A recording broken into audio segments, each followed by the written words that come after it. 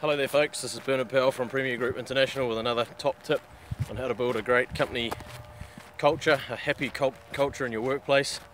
As everybody knows I'm super passionate about building happy workplace cultures in New Zealand and all around the world because I believe that by doing so we can change the world for the better because we um, spend 30% of our lives at work and it has a huge effect on what happens in the other 75 70% of our time which is with our families and the um, our personal relationships and and um, so really really key to that is one simple tip today is shake their hand. So what does that mean? It's really simple but ask yourself the question how often do you actually go around your team and shake their hand and say how's it going thanks for being a great member of the team.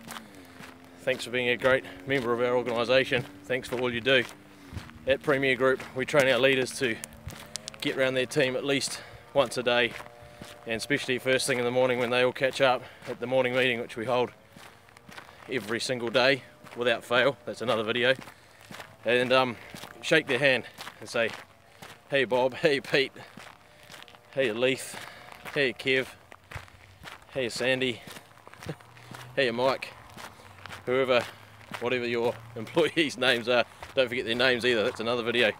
So make sure you go, you, if you're not already doing it, make a habit of it from today on, every single morning. Get round all of your people and shake their hand and um, just start to build that personal connection and or go deeper if you've already got a connection go deeper and and and um, add it to that bank of the personal relationship, the trust bank that, that you're building up with your each each of your team members and train your leaders to do it. It is so, so critical.